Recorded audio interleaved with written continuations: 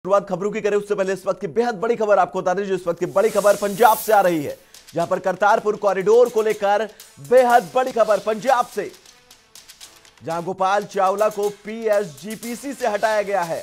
तो गोपाल चावला को पीएसजीपीसी से हटाया गया है, खालिस्तानी समर्थक हैं गोपाल चावला। तो पंजाब से बड़ी खबर, करतारपुर कॉरिडोर को लेकर यह बड़ी खबर है आपको बता दें कि पंजाब से, जहाँ पर गोपाल चावला को पीएसजीपीसी से हटा दिया गया है। तो गोपाल चावला पीएसजीसीपी नहीं रहे हैं। खालिस्तानी समर्थक है गोपाल चावला। आपको बता दें कि खालिस्तान का समर्थन करते हैं गोपाल चावला, जिनको अब हटा दिया गया है। इस बड़ी ज़िम्मेदारी से मुक्त कर दिया गया है। तो पर हमारे साथ हमारे संवाददाता क्रांत जुड़ चुके क्रांत, क्या कुछ जानकारी है आपके पास इस पूरे मामले को लेकर?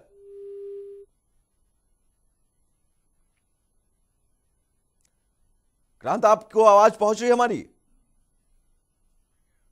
तो क्रांत से हमारा संपर्क नहीं हो पा रहा है। आपको बता दें कि भारत पाकिस्तान की रविवार को बैठक होगी। अटारी वाघा बॉर्डर पर यह बैठक होनी है, लेकिन बड़ी खबर इस वक्त की, गोपाल को हटा दिया गया है करतारपुर कॉरिडोर को लेकर बड़ी खबर।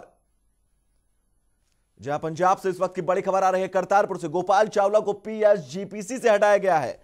तो पीएसजीसी जीपीसी नहीं रहे हैं गोपाल चावला जिनको अब अपने पद से हटा दिया गया है। दरअसल खालिस्तानी समर्थक हैं गोपाल चावला, जिसके चलते गोपाल चावला को पीएसजीपीसी से हटा दिया गया है। तो भारत ने गोपाल चावला पर ऐतराज जताया था। हमारे साथ क्रांत जुड़ चुके हैं। दोबारा से हमारे सहयोगी क्रांत, क्या कुछ जानकारी है इस पूरी खबर पर आपके पास?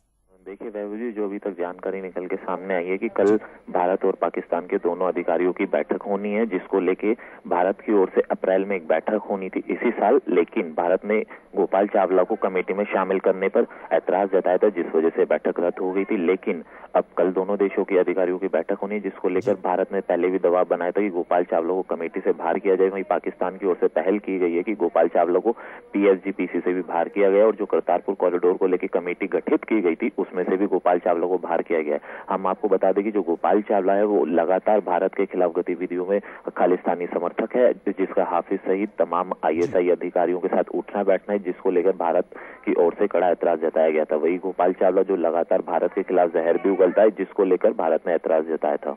जी। क्रांत इस तमाम जानकारी के लिए आपका बहुत बहुत शुक्रिया। तो आपको बता दें कि गोपाल चावला को पीएसजीपीसी पद से हटा दिया गया है। दरअसल करतारपुर कॉरिडोर को लेकर रविवार को बैठक होगी तो गोपाल चावला पीएसजीपीसी नहीं रहे हैं। तो भारत पाकिस्तान की जो बैठक रविवार को होगी, दरअसल खालिस्तानी समर्थक हैं, जिसके चलते लगातार भारत जो है विरोध करता रहा था कि खालिस्तानी समर्थक सीएसजीपीसी पीएसजीपीसी आखिर कैसे है और उनको अब हटा दिया गया है। लेटेस्ट अपडेट्स के लिए दबाना न भूलें बेल आइकन। और सब्सक्राइब करें हमारा यूट्यूब चैनल।